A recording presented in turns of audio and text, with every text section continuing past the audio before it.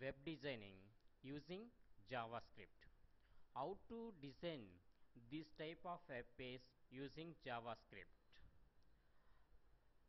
Sum of digits in the given number.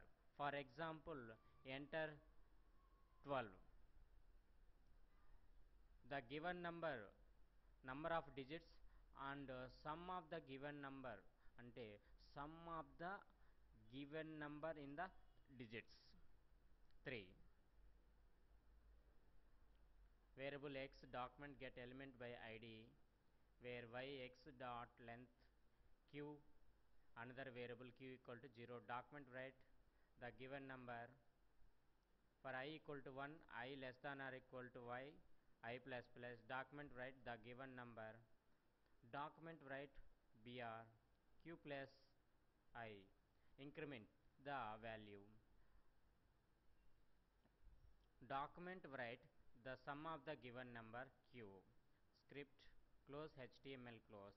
Input type text name fname on select uppercase input type button. Value submit. On click uppercase form close body close and totally html close.